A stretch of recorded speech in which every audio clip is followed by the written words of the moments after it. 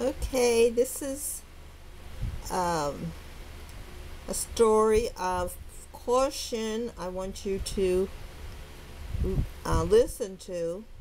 I hope you're having a great day. This cute young couple, he was only 22, and then his girlfriend, she's about the same age, they were going for advanced degrees in college and just before going back to school, they decided to drive through the rural area of Alabama around Talladega. So they were driving in their car. They had an extra battery in their car in case anything happened. And as they were driving, they passed this lady, Yasmin Hinder, who was standing along the road with her car and she appeared stuck. So Adam Simjee said, well, he'd go help her.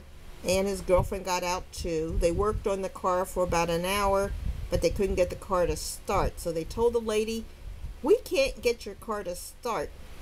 At that time, she pulled out a gun and told them to drop their cell phones and give them their banking information.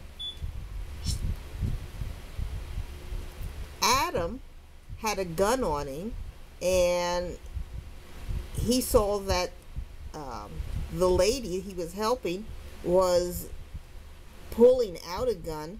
So he pulled out his gun and her gun jammed and he was able to shoot her a couple of times and she was able to shoot him once. Unfortunately, her shot was deadly and he died.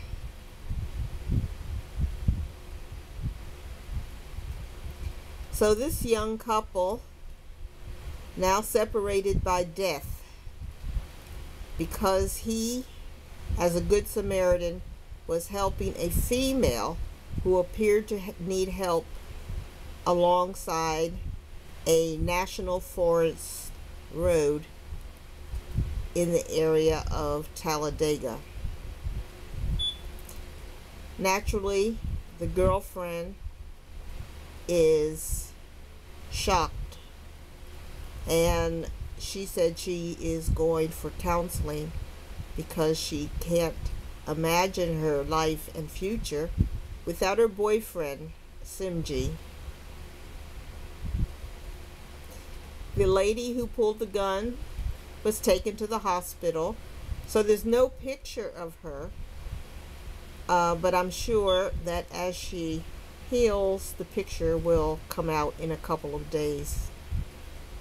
There was another lady that seemed to observe all of this and they were questioning her when her son ran out of the woods with a rifle and was pointing it at the police. So they arrested that lady. They put her son in a foster home and they have to see what's going to happen.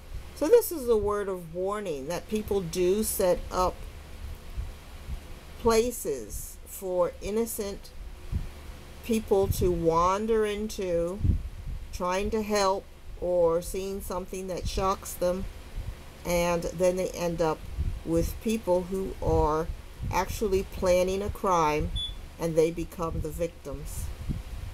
We always have to keep our guard up and it might have been good for him to have called the police as he noticed this woman alongside the road but we know so many people who are just like him who would have stopped to help. And it's so unfortunate that this happened to him and also to her at this um, young point in their lives. So be careful, all of you. Please like and subscribe, and I'll talk to you later. Bye.